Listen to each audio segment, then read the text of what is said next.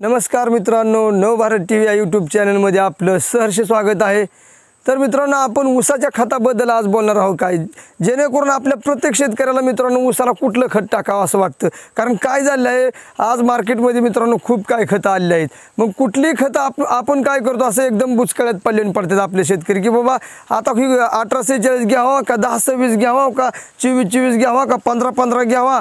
ह्या अन्य जी काय खतं आहेत पोटॅस आहेत वेगवेगळी खतं आहेत ते कुठलं खत टाकावं हे असे आपले शेतकरी बरेच बुचकळ्यात पडत आहेत. तर मित्रांनो काय करायचं आहे बघा कुठलं खत कुठल्या वेळी टाकलं पाहिजे? हे एक आपल्या उसाला लय गरजेचं आहे. तर काय करायचं? आपली उसाची ऊसाची जर बांधणी करण्याच्या वेळेस मित्रांनो आपण दहा सव्वीस खत ही प्रत्येक शेतकऱ्याला वाटतं चांगलंच आहे आणि खरंच चांगलं आहे.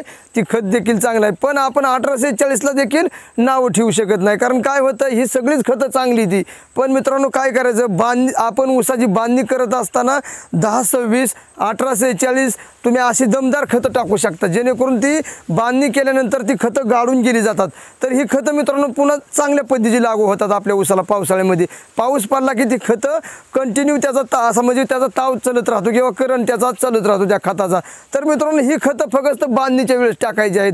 पण आपण असं जर आपल्याला दुसरं खत जर आता आपल्याला जर ऊसाची नंतर काय होतं मित्रांनो की आपल्या ऊसाचे आपल्याला ऊस बांध बांधण्याच्या वेळेस मित्रांनो आपला ऊस साधारण कांडी धरायला लागलं असतं. मग ह्या कांडी धरण्याच्या वेळेस कुठलं खत आपल्या ऊसाला टाकलं पाहिजे? तर मित्रांनो आपल्याला आपल्या ऊसाची कांडी लांबी आणि ते कांडीची जी लांबी असते ती लांबली पाहिजे. आणि मित्रांनो ऊसाचा पोत देखील चांगला होण्यासाठी आपल्याला दोन खताचा वापर म्हणजे ते म्हणजे आपल्याला पोटॅश आणि मित्रांनो फगस्त एकोणीसशे एकोणीस.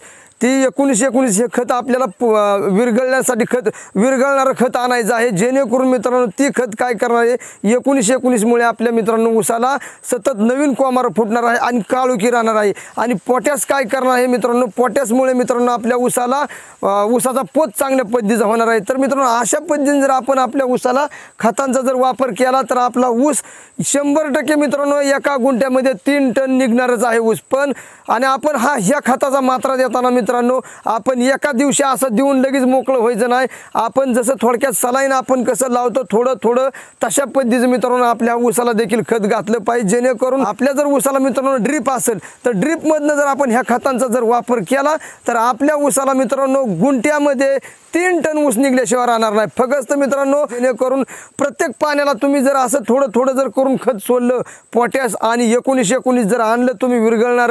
आणि अशा पद्धतीत जर मात्रा खताला दे तुम्हाला जर दिला मित्रांनो खताचा तर तुम्हाला सांगतो तुमचा ऊस शंभर टक्के चांगल्या पद्धतीचा जाणार आहे. फक्त आपण ह्या खताचा वापर करा पोट्यास आणि एकोणीसशे तर मी आज तुम्हाला प्रत्यक्ष व्हिडिओमध्ये दाखवणार आहे. आम्ही उसालाच आता सध्या खत सोडत आहे. कशा पद्धतीने सोडत आहे ती तुम्हाला मी प्रत्यक्ष व्हिडिओमध्ये दाखवत आहे. आता आपल्याला हे घ्यायचं आहे एकोणीसशे एकोणीस. एक किलो एकोणीसशे एकोणीस घ्यायचं आहे. आता आपण हे एक एक किलोचं खत टाकून देऊया. हे एकोणीसशे एकोणीस लगेच विरघळते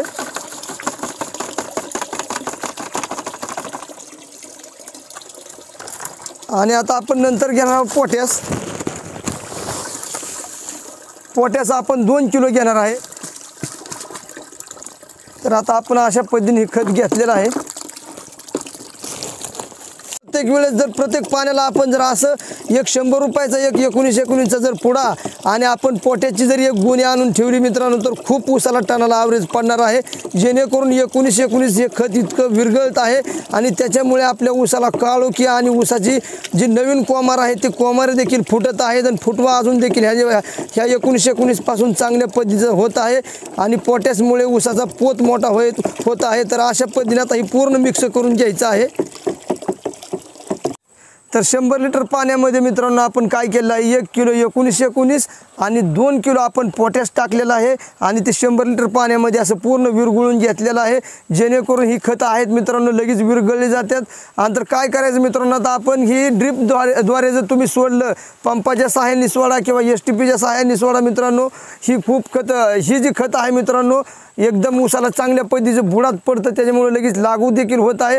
अशा पद्धतीने जर मित्रांनो आपण जर आपल्या ऊसाला जर खताचा मात्रा दिला तर मित्रांनो आपल्या एका गुंठ्यामध्ये देखील मित्रांनो ऊसाचा पोत मोठा होणार आणि एका गुंठ्यामध्ये आपला मित्रांनो तीन टन ऊस शंभर टक्के निघणार. कारण ही मित्रांनो कंटिन्यू तुम्ही जर देत राहिला आपल्या ऊसाला जोपर्यंत मित्रांनो आपला तुडीच ऊस जर आपला प- कारखान्याला जाण्याला परिपक्व होत नाही तोपर्यंत मित्रांनो आपण जर अशा पद्धतीने खताचा डोस जर दिला आपल्या ऊसाला तर मित्रांनो शंभर टक्के आपल्याला उत्पादन वाढत राहणार आहे. तर मित्रांनो हा व्हिडिओ तुम्हाला जर आवडला तर नवभारत टी व्ही यूट्यूब चॅनलला सबस्क्राईब करा. बेल आयकॉनचं बटन दाबा. नमस्कार.